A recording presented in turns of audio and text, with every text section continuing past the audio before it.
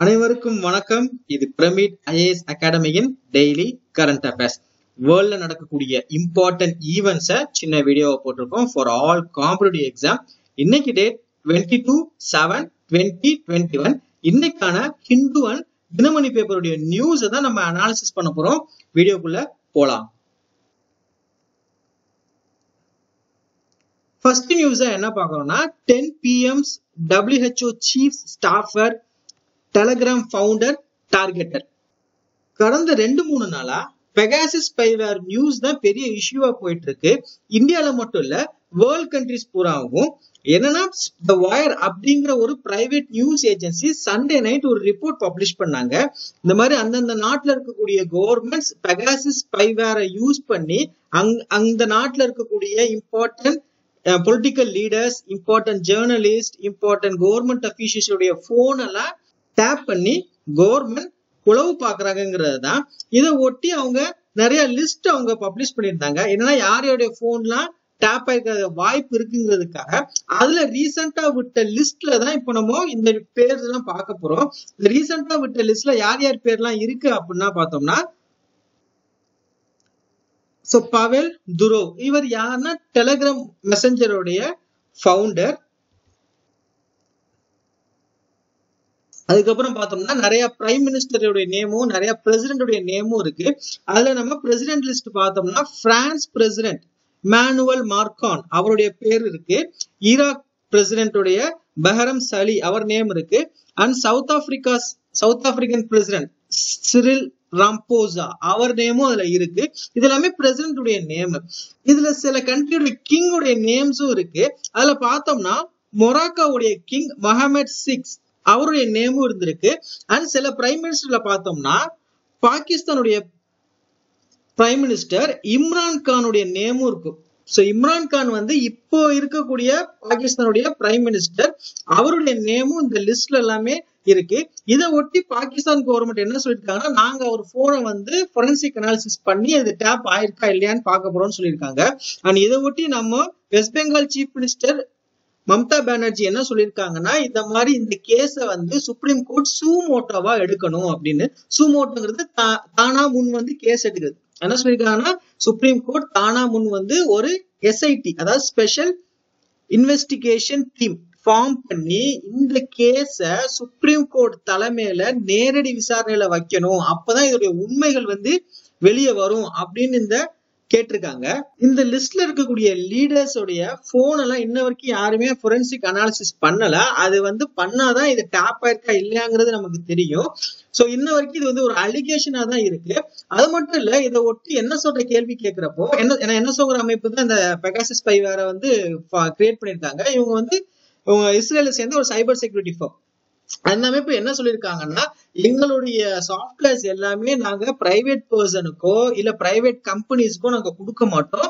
கவர்மெண்ட்டுக்கு மட்டும்தான் கொடுப்போம். அது என்ன எதுக்காகனா டெரரிசம் ப்ரிவென்ட் பண்றதுக்காகவும் இன்னொரு சீரியஸ் கிரைமை ப்ரிவென்ட் பண்ணணுங்கிறதுக்காக தான் ஸோ எங்க சைட்ல இருந்து நாங்க யாருக்குமே வெளியே யாருக்கும் கொடுக்கல.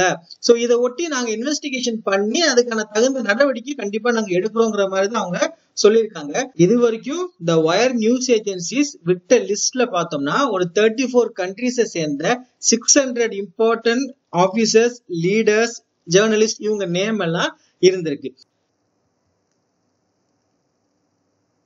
இந்த நியூஸ் உடைய தமிழ் வெர்ஷன் தான் இங்க நம்ம பாக்குறோம் தினமணி பேப்பருடைய ஹெட்லைன்ஸ் இது.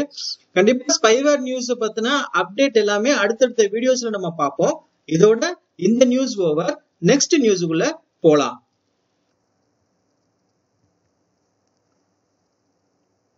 நெக்ஸ்ட் நியூஸ் நம்ம என்ன பாக்குறோம்னா one point two lakh Indian children loss their primary care givers study so இந்த கோவிட்ல நமக்கு தெரியும் டுவெண்ட்டி டுவெண்ட்டில இருந்து ஒரு ஒன் ஒன் அண்ட் ஆஃப் இயர்ஸா கோவிட் சுச்சுவேஷன் தான் உலகம் முழுக்க இருக்கு கோவிட் பேண்டமிக் இதுல அவங்க ஸ்டடி பண்ணதுல இந்தியாவில் கிட்டத்தட்ட one point two lakh childrens அவங்களுடைய கார்டியன்ஸையோ இல்லைன்னா அவங்களுடைய கேர் டேக்கர்ஸையோ இழந்திருக்காங்க. எய்தர் ஒன் ஆர் டூ அதாவது இரண்டு பெட்ரோலும் இழந்திருக்கலாம் இல்லைன்னா ஏதாவது ஒரு பெட்ரோலை இழந்திருக்கலாம். இது வந்து இந்தியா பொறுத்து வேர்ல்டு வைடா பாக்குறப்போ லெவன் லேக் சில்ட்ரன் வந்து பெட்ரோலை இழந்திருக்காங்க. ரொம்ப கவலை அளிக்கக்கூடிய விஷயமா இருக்குது. ஸோ இந்த சர்வேல வந்து பார்த்தப்போ எந்த கண்ட்ரிஸ் வந்து அதிகமா இருக்குன்னா வந்து மெக்சிகோல one point four lakhs childrens அதிகமா இழந்திருக்காங்க. பிரேசில்ல ரெண்டாவது இடமா இருக்கு. One point three lakhs childrens வந்து ஃபேமிலி மெம்பர்ஸ் இழந்திருக்காங்க. இந்தியால வந்து ஒன் பாயிண்ட் டூ லேக்ஸ் வச்சிருக்காங்க ஸோ அது மட்டும் இல்லாம இந்த குளோபல் சர்வே எல்லாமே எதுல இருந்து எந்த மந்த்துக்குள்ளதான் நடந்திருக்குன்னா மார்ச்ல இருந்து ஏப்ரல் வரைக்கும் அந்த ஒன் இயர்ல நடந்தக்கூடிய ஒரு டிசாஸ்டரான விஷயம் தான் இது. இந்த சர்வேல யார் யாரெல்லாம் பார்ட்டிசிபேட் பண்ணியிருக்காங்கன்னா US Center for Diseases Control Imperial College London so the University of Oxford and the World Bank were among those who conducted the survey so இவங்க எல்லாமே இந்த ஸ்டடி அண்ட் சர்வே வந்து பண்ணியிருக்காங்க இந்த ஸ்டடியில என்னவும் அவங்களுக்கு தெரிஞ்சிருக்குன்னா so the childrens are at greater risk of family separation and institutionalisation ஏன்னா இப்போ இந்த சுச்சுவேஷன் போச்சுன்னா இந்த குழந்தைகள் எல்லாமே ஃபேமிலிங்கிற செட்டப்ல இருந்து விலகி போயிருவாங்க. அதுவும் இல்லாம இந்த குழந்தைகள் எல்லாம் காப்பகத்துல போய் சேர்க்கறதுக்கான வாய்ப்பும் இருக்கு அப்படிங்கிறாங்க. சோ அதனால அவங்க என்ன ரெக்கமெண்ட் பண்றாங்கன்னா உங்களோட இன்வெஸ்ட்மெண்ட் எல்லாமே இந்த மாதிரி சைல்டு கேருக்கு கொடுங்க. கொடுத்து அந்த குழந்தைகளுக்கு நல்ல எதிர்காலம் அமைங்க அப்படிங்கிற மாதிரி அவங்க ரெக்கமெண்ட் பண்ணிருக்காங்க கண்டிப்பா அந்த குழந்தைகளுக்கு எல்லாமே நல்ல எதிர்காலம் அமையணுங்கிறத வேண்டி நம்ம நெக்ஸ்ட் நியூஸ்க்குள்ள போவோம். நெக்ஸ்ட் நியூஸ் என்ன பார்க்கணும்னா constable recruitment physical test begins on July twenty six police grade one constable செலெக்ஷனுக்காக ஒரு கால் ஃபார் பண்ணியிருந்தாங்க. ஸோ அதை ஒட்டி இப்போ என்ன பண்றாங்கன்னா டூ தௌசண்ட் செவன் ஹண்ட்ரட் கேண்டிடேட்ஸை வந்து பிசிக்கல் டெஸ்ட்டுக்காக அவங்க கூப்பிட்டுருக்காங்க. இந்த பிசிக்கல் டெஸ்ட்ல வந்து அவங்க சில கைட்லைன்ஸ் கொடுத்துருக்காங்க. என்னன்னா ஆல் கேண்டிடேட்ஸ் எல்லாமே வந்து அந்த அவங்க அப்பியர் ஆகிற டேட்டுக்கு முன்னாடி ஃபோர் டேஸ்க்குள்ள அவங்க என்ன பண்ணியிருந்திருக்கணும்னா கோவிட் டெஸ்ட் எடுத்து அதுல நெகட்டிவ் இருந்துச்சுன்னா கண்டிப்பா அதை கொண்டு அந்த ரிப்போர்ட்டை வந்து சப்மிட் பண்ணணும் அப்படின்னு சொல்லியிருக்காங்க. அதுவும் இல்லாம அவங்க எல்லா ஒரிஜினல் டாக்குமெண்ட்ஸையும் கொண்டு வரணும்னு சொல்லியிருக்காங்க. ஸோ தமிழ்நாடை பொறுத்த வரைக்கும் போலீஸ் எல்லாமே வந்து யார் ரெக்ரூட் பண்ணுவாங்கன்னா தனி போர்டு வச்சிருக்காங்க. அதுதான் Tamil Nadu uniform service recruitment board இவங்க தான் தமிழ்நாடுடைய police call for and recruitment process எல்லாமே நடத்துவாங்க. ஸோ இன் கேஸ் உங்க ஃப்ரெண்ட்ஸோ இல்லை உங்க ரிலேட்டிவ்ஸோ யாரும் போறாங்கன்னா அவங்களுக்கு கண்டிப்பா விஷயம் சொல்லிக்குவோம். ஸோ இந்த வெப்சைட்ல வந்து அவங்க ஹால் டிக்கெட் அவங்க எடுத்துக்கலாம். இந்த பிசிக்கல் டெஸ்ட்டுக்கான ஹால் டிக்கெட் அவங்க இந்த வெப்சைட்ல இருந்து எடுத்து அவங்க போய்க்கலாம். ஸோ அதோடைய தமிழ் வெர்ஷன் தான் இங்க நம்ம பார்க்குறோம். காவலர் உடல் தகுதி தேர்வு கரோனா மருத்துவ சான்றிதழ் பெற்று வந்தால் மட்டுமே அனுமதி. ஸோ இதோட இந்த நியூஸ் ஓவர் நெக்ஸ்ட் நியூஸுக்குள்ள போகலாம்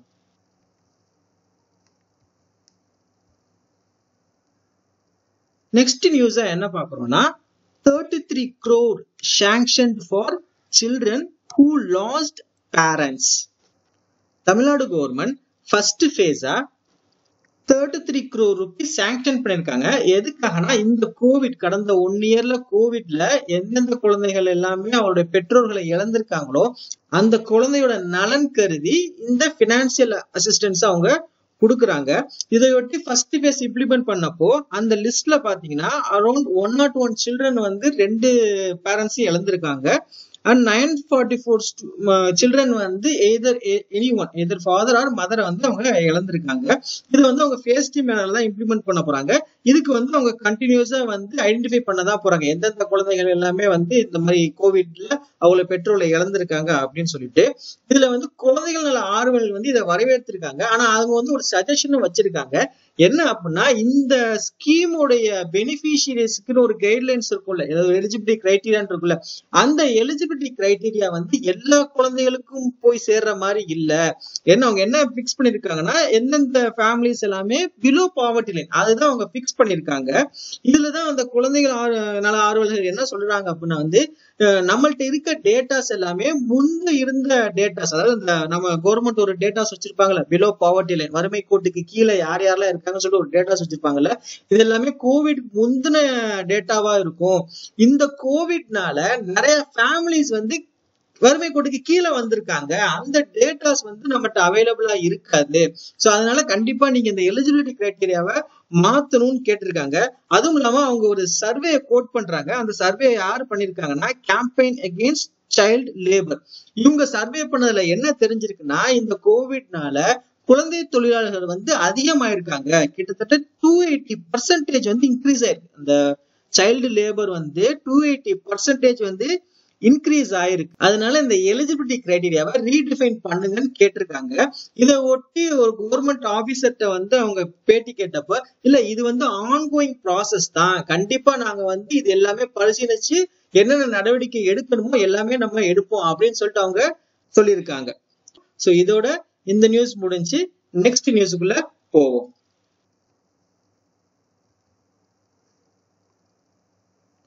நெக்ஸ்ட் நியூஸ் என்ன பார்க்கணும்னா DMK to move ECI இசிஐங்கிற election commission of India again on Rajya Sabha vacancies நம்ம பார்லிமெண்ட்டை பொறுத்த வரைக்கும் ரெண்டு ஹவுஸ் இருக்கு. நமக்கு தெரியும் ஒன்று லோக்சபா இன்னொன்று ராஜ்யசபா. இதுல வந்து ராஜ்யசபால பார்த்தோம்னா தமிழ்நாடுக்கு மொத்தம் எத்தனை சீட் இருக்குன்னா பதினெட்டு சீட் இருக்கு.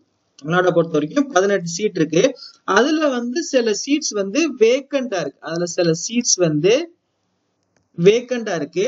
அந்த வேக்கண்ட ஃபில் பண்றதுக்காக பை எலெக்ஷன் வைங்கன்னு கேட்டுதான் டிஎம்கே என்ன பண்ணிருக்காங்கன்னா எலெக்ஷன் கமிஷனை வந்து அணுகிருக்காங்க இப்போ இந்த ராஜ்யசபாவை பொறுத்த வரைக்கும் அதோட டேர்ம் பாத்தீங்கன்னா சிக்ஸ் இயர்ஸ் இருக்கும். அதாவது ஒரு பர்சன் வந்து ராஜ்யசபால எம்பியா வந்து தேர்ந்தெடுக்கப்பட்டாங்கன்னா அவங்களுக்கு வந்து மொத்தம் சிக்ஸ் இயர்ஸ் இருக்கும். இந்த சிக்ஸ் இயர்ஸ்க்கு அப்புறம் அவங்களே வந்து ரிசைன் பண்ணிடுவாங்க. சரிங்களா? இப்ப இதுல ஏன் வேக்கண்ட் ஆச்சுன்னா அதுல வந்து ஒரு பர்சன் முகமது ஜான் அப்படின்னு சொல்லிட்டு வந்து இறந்திருக்காங்க. அண்ட் இன்னொன்று வந்து ஏடிஎம்கேவை சேர்ந்த டூ லீடர்ஸ் ஒன்று கேபி முனுசாமி இன்னொன்று ஆர் வைத்தியலிங்கம். இவங்க ரெண்டு பேரும் வந்து இப்போ நமக்கு நடந்துச்சு அசம்பிளி எலெக்ஷன் அதுல கண்டெஸ்ட் பண்ணி ஜெயிச்சனால இவங்க ராஜ்யசபா சீட்டை வந்து இது பண்ணிட்டாங்க ரிசைன் பண்ணிட்டாங்க. ஸோ அதனால வந்து என்னாச்சுன்னா வந்து வேக்கண்ட் ஆயிடுச்சு. ராஜ்யசபால இருக்கக்கூடிய தமிழ்நாடு மெம்பர்ஸ்க்கான இது வந்து வேக்கண்ட் ஆயிடுச்சு.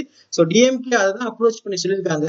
எங்களுக்கு வந்து பை எலெக்ஷன் வச்சு ராஜ்யசபாவுடைய வேகன்சியை ஃபில் பண்ணுங்க சோ தட் எங்களுக்கான முழு பிரதிநிதித்துவமும் அங்க கிடைக்கும் அப்படின்னு அவங்க கேட்டிருக்காங்க.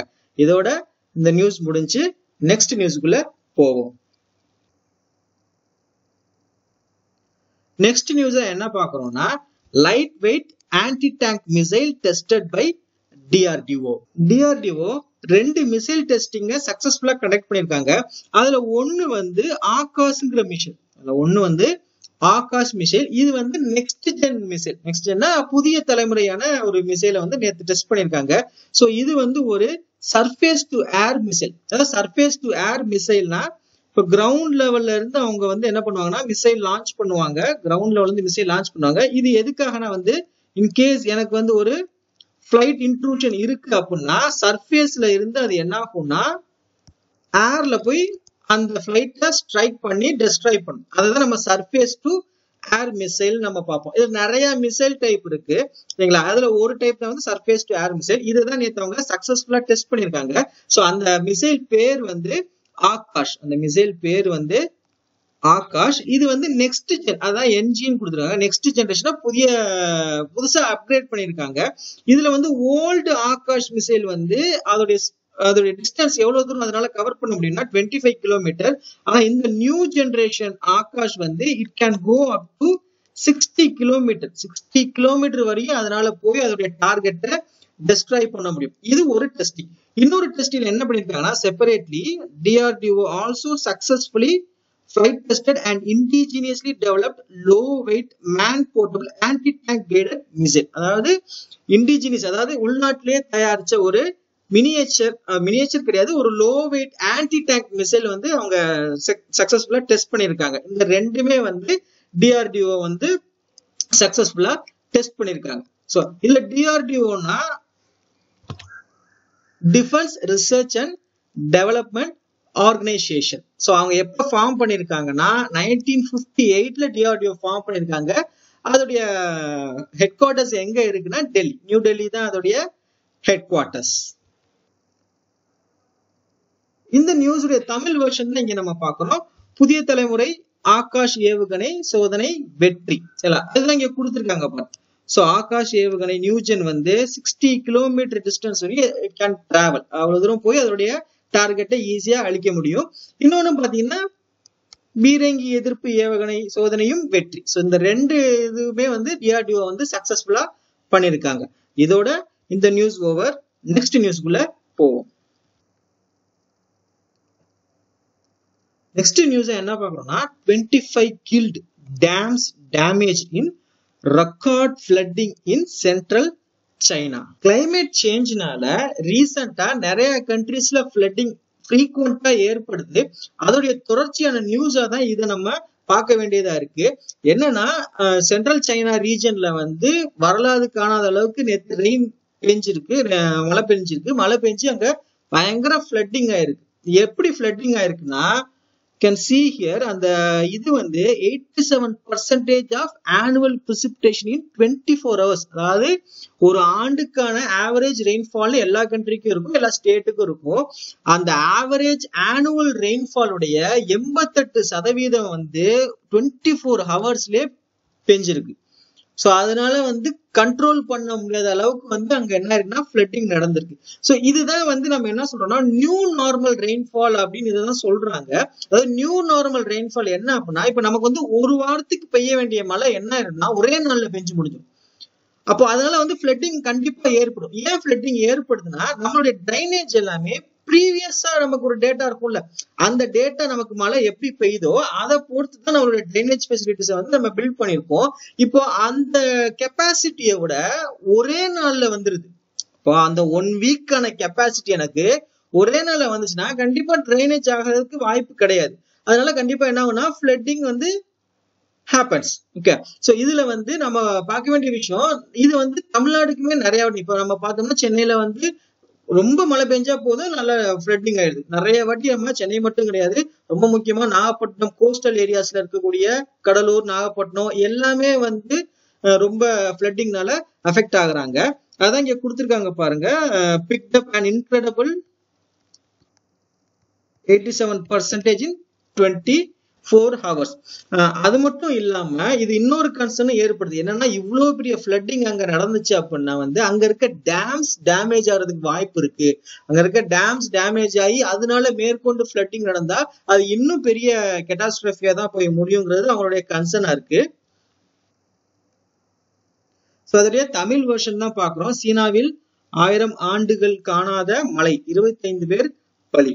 யூ கேன் சி ஹியர் இந்த இமேஜ்ல பாருங்க. ஆக்சுவலா இது வந்து ஒரு ட்ரெயின்ல வந்து அந்த ஃபிளட்டிங் ஏற்பட்ட அந்த போட்டோ எடுத்திருக்காங்க. அதான் இங்க கொடுத்துருக்காங்க பாருங்க. ஸோ ஒரு ரெயின்ஃபால் போகுது. அதே மாதிரி இங்கேயும் பாருங்க. இந்த டிராஃபிக் லைட்ஸுக்கு ஒட்டி வந்து அந்த ஃபிளட்டிங் நடந்திருக்கு ஓகே இந்த டிராஃபிக் லைட்ஸை ஒட்டி அந்த ஃபிளட்டிங் நடந்திருக்கு. ஸோ நேச்சர் நமக்கு கொடுக்கக்கூடிய ஒரு வார்னிங் பெல்லா தான் இதை நம்ம எடுத்துக்க வேண்டியதா இருக்கு. ஸோ என்னன்னா நம்ம எல்லாமே என்விரான்மெண்டல் அழிச்சிட்டு டெவலப்மெண்ட் பண்றதுல வந்து எந்த ஒரு யூஸும் இல்லை. என்விரான்மெண்டல்ல ப்ரிசர்வ் பண்ணி அது மூலமாவும் தான் நம்ம என்ன பண்ணணும்? டெவலப்மெண்ட் அடையணும். இதோட இந்த நியூஸ் பார்த்துட்டோம். நெக்ஸ்ட் நியூஸ்க்குள்ள போலாம்.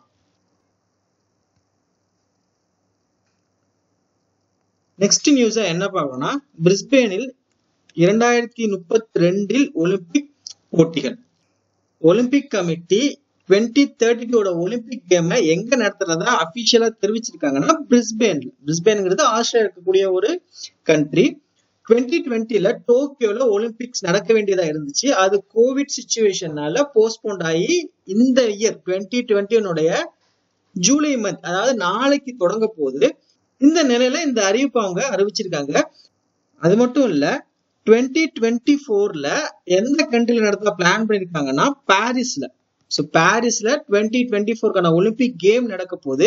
அதே மாதிரி டுவெண்ட்டி டுவெண்ட்டி எயிட்டுக்கான ஒலிம்பிக் கேம் எங்க நடக்க போகுதுன்னா லாஸ் ஏஞ்சல்ஸ் இதோட இந்த நியூஸ் ஓவர் நெக்ஸ்ட் நியூஸ்குள்ள போலாம். நெக்ஸ்ட் நியூஸ் என்ன பாக்குறோம்னா UNESCO strips Liverpool of its world heritage status பழமை வாய்ந்த கோயிலையும் பழமை வாய்ந்த கட்டடங்களையும் தான் நம்ம ஹெரிட்டேஜ் சைட்டுன்னு சொல்லுவோம்.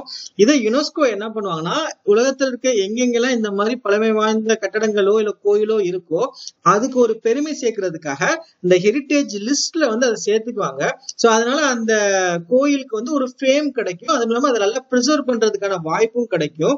அதுல வந்து லிவர்பூலுங்கிற சிட்டி வந்து அதுல ஆட் பண்ணிருந்தாங்க இப்போ யுனெஸ்கோ என்ன பண்ணிட்டாங்கன்னா அந்த லிவர்பூலை வந்து ஹெரிட்டேஜ் லிஸ்ட்ல இருந்து என்ன பண்ணிட்டாங்கன்னா ரிமூவ் பண்ணிட்டாங்க. அதுக்கு அவங்க என்ன காரணம் சொல்றாங்கன்னா அந்த லிவர்பூல்ல நிறைய புது கட்டிடங்கள் வர்றதுனால அங்க ஒரு பழமை வாய்ந்த கட்டடம் ஒண்ணு இருக்கு. அது வந்து கொஞ்சம் கொஞ்சமா அது வந்து டெப்ளீட் ஆக ஆரம்பிக்குது. அதாவது டெட்டோரியேஷன் டெட்டோரியேஷனா கொஞ்சம் கொஞ்சமா அது வந்து அழிஞ்சுக்கிட்டு இருக்குங்கிறாங்க. அதுக்காக தான் என்ன பண்ணிருக்காங்கன்னா யுனெஸ்கோ வந்து அந்த லிவர்பூல் சிட்டியை வந்து ஹெரிட்டேஜ் லிஸ்ட்ல இருந்து என்ன பண்ணிருக்காங்கன்னா ரிமூவ் பண்ணிருக்காங்க. அந்த யுனெஸ்கோ லிஸ்ட்ல பாத்தீங்கன்னா நம்ம தாஜ்மஹால் எல்லாம் இருக்கு. தாஜ்மஹால் மட்டும் இல்ல இந்தியால இருக்க நிறைய இடத்துல இருக்கக்கூடிய பழமை வாய்ந்த கோயில்களும் கட்டடங்களும் வந்து யுனெஸ்கோ ஹெரிட்டேஜ் லிஸ்ட்ல தான் இருக்கு. ஸோ இதுக்கு முன்னாடி வந்து எந்தெந்த இதை வந்து ஹெரிட்டேஜ் லிஸ்ட்ல இருந்து ரிமூவ் பண்ணிருக்காங்கன்னா ரெண்டாயிரத்தி ஏழுல வந்து ஓமன்ல இருக்கக்கூடிய ஒரு வைல்ட் லைஃப் சாங்சுரி வந்து ஹெரிடேஜஸ்ல இருந்து ரிமூவ் பண்ணிருக்காங்க ஏன்னா அங்க வந்து போச்சிங் நிறைய நடக்குது. பிளஸ் அங்க வந்து அந்த ஹாபிடேட் வந்து லாஸ்ட் ஆகுது. அதாவது அங்க இருக்கக்கூடிய சுற்றுச்சூழல் வந்து அழிஞ்சுக்கிட்டே வருதுனால அதை ரிமூவ் பண்ணிருக்காங்க அதுக்கப்புறம் ரெண்டாயிரத்தி ஒன்பதுல ஜெர்மனில் இருக்கக்கூடிய டிரெஸ்டன் எல்பே வேலி அந்த இதையும் வந்து அவங்க என்ன பண்ணிருக்காங்கன்னா ஹெரிடேஜ் சைட்ல இருந்து ரிமூவ் பண்ணியிருக்காங்க. இந்த யுனெஸ்கோ பார்த்தீங்கன்னா அதோடைய எக்ஸ்பேன்ஷன் பார்த்தோம்னா united nation educational scientific and cultural organisation இது யுனைடெட் நேஷனுடைய ஒரு விங் தான் அது. அது எப்போ தொடங்கியிருக்காங்கன்னா நைன்டீன் ஃபார்ட்டி ஃபைவ்ல யுனெஸ்கோ கொடுத்துருக்காங்க. ஸோ அதோடைய ஹெட் குவார்ட்டர்ஸ் வந்து பாரிஸ்ல இருக்கு. ஒரு ஹெட் குவார்ட்டர்ஸ் பாரிஸ்ல இருக்கு. இதோட இன்னைக்கான வீடியோ நம்ம முடிக்கிறோம். கண்டிப்பா உங்களுக்கு பிடிச்சிருக்கும்னு நாங்க நம்புறோம். இந்த வீடியோ பிடிச்சிருச்சுன்னா கமெண்ட் பண்ணுங்க லைக் பண்ணுங்க ஷேர் பண்ணுங்க. கண்டிப்பா நம்ம பிரமிட் சேனலுக்கு சப்ஸ்கிரைப் பண்ணுங்க. So thank you so much for வாட்சிங் the video wish you all a good day ahead thank you